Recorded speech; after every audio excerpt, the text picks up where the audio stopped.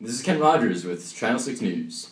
This is the 6th anniversary of Hurricane Katrina, and we bring you the touching story of Abdulrahman Zeitoun, a Muslim man who took his chances and tried to ride out Hurricane Katrina while his wife and kids went to Baton Rouge before the storm.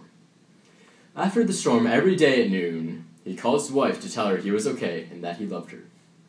The whole city was flooded at this time, but Zeitoun was able to help others because of the aluminum canoe he had in his garage.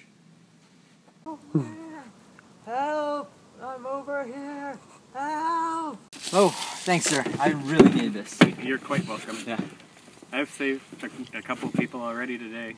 Yeah, I've been stuck on this island for quite a while. It's terrible. hmm This storm has taken its toll on all of us. Yeah. My name's Jeff, yeah?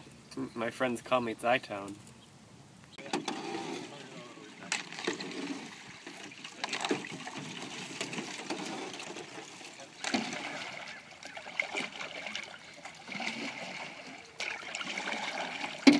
Well, here are.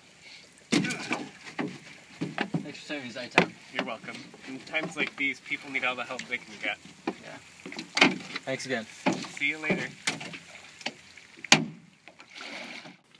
Zeitoun owned many properties under his company name, Zeitoun Painting Contractors, and spent his time checking the houses for when their tenants came back to live in them.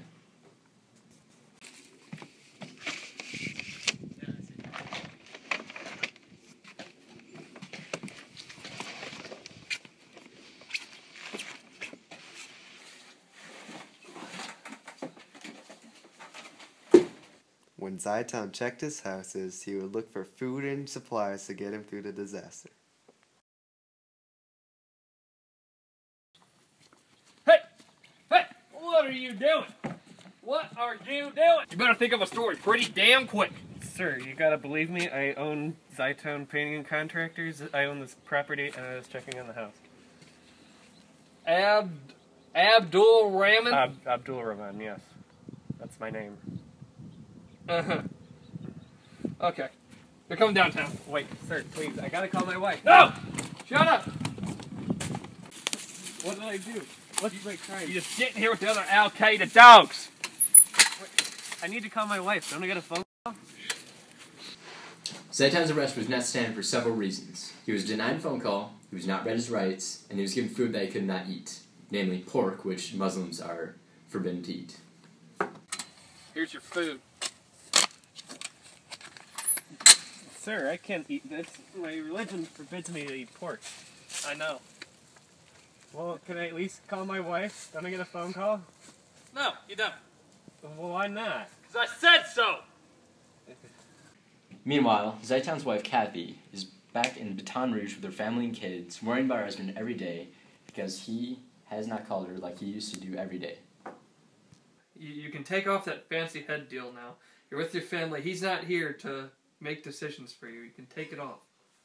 How many times do I have to tell you? I converted to Islam by my own choice. Abdul Rahman had nothing to do with this, and it just breaks my little old heart that you won't accept me for who I am. Back in New Orleans, Zeitoun is being put on trial to set his bail. All rise for the Honorable Judge Jeff. Be seated. Order in the court! Order in the court! Now, as the normal bail of a person in Zeitoun's position is $500, let's start the bail at, I don't know, $150,000. Any arguments? Sir, that is way too high. My client, Zeitoun, should only have to pay $35,000. I think it needs to be a little higher. I mean, he is a terrorist after all. Maybe $75,000? Well, if you put it that way, it does seem fair. What? I'm not a terrorist. That's not fair. This court finds that the bail set for Zeitoun should be $75,000 on account of stolen property. Can I at least get my phone call? No, we don't negotiate with terrorists. Well, why should you even set a bail if nobody's gonna know I'm in prison? Well, what a touching story. And here we are with the man himself and his wife, Abdurrahman Zeitoun and Kathy. Hi, Ken. Nice to be here. Yes, indeed. Nice to see you. Hello. So tell us, Zeitoun, What were some of the major troubles they had in your, during your experience? Well, the jail was awful and extremely uncomfortable. I would have to say that the hardest aspect of it was the amount of racism I had to deal with. Simply based on my appearance, people assumed that I was a radical terrorist or somehow affiliated with Al Qaeda. I had to endure prejudice and mistreatment at every turn, even before the hurricane hit. Oftentimes, our clients object to having my workers in their house because of their ethnicity, and my wife, too, has dealt with such injustice. Really? What exactly we're talking about here? Can you explain? Well, teenagers made a game out of snatching my hijab, my headscarf, off of my head. As a matter of fact, I uh, converted to Islam after a particularly unpleasant experience at the evangel- evangelical church I was a parishioner at. A few years back, I ran into a preacher from the church and told him that I was uncertain about my faith and considering converting to Islam. He told me to come to Mass the next Sunday, expecting him to my, renew my faith. However, I was sorely mistaken.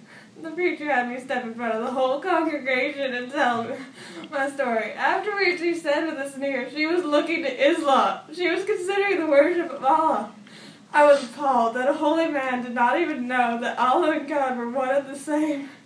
I honestly wanted no part in an institution that was so ignorant of other walks of life, so I converted to Islam the very next day.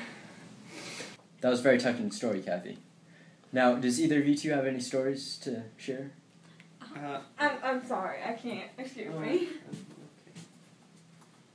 Well, Ken, at West Jefferson High School, a 10th grader of Iraqi descent had been repeatedly harassed by her history teacher.